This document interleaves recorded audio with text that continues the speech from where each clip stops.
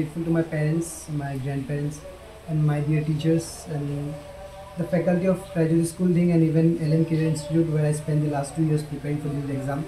And I'm also grateful to all my well wishers who have, you know, blessed me abundantly. And so I think I wouldn't have been able to stand here uh, where I am now without their blessings, and you know, so I'm just really grateful to all of them. মই প্ৰথমেই আমাৰ সকলো শুভাকাংক্ষীক আমাৰ পৰিয়ালৰ ফালৰ পৰা আন্তৰিক ধন্যবাদ জ্ঞাপন কৰিব খুজিছোঁ।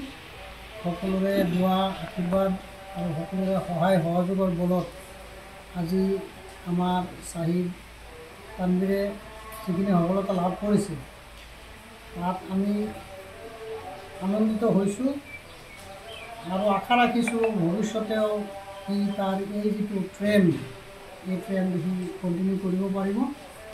আৰু সকলোৰে পৰা আমি পুনৰবাৰ দোৱা আশীৰ্বাদ বিচাৰিছোঁ। সকলোৱে দোৱা আশীৰ্বাদ যাতে কৰে আৰু সকলোৰে সহায় সহযোগ কামনা কৰিছোঁ যাতে তাৰ ভৱিষ্যত জীৱনটো আৰু অধিক উজ্জ্বল হয়।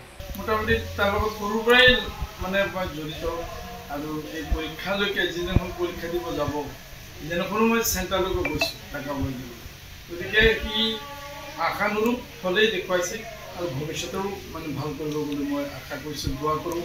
আল্লাহৰ ওচৰত যে আল্লাহ তাক মানে এই আমাৰ কাৰণে আমাৰ এই অঞ্চলৰ কাৰণে গোটেই মানৱ জাতিৰ কাৰণেই যাতে তেওঁ এজন সফল ব্যক্তি হিচাপে থিয় হ'ব পাৰে তাৰে মই কৰোঁ আৰু আপোনালোকৰো আশীৰ্বাদ বিচাৰিছোঁ।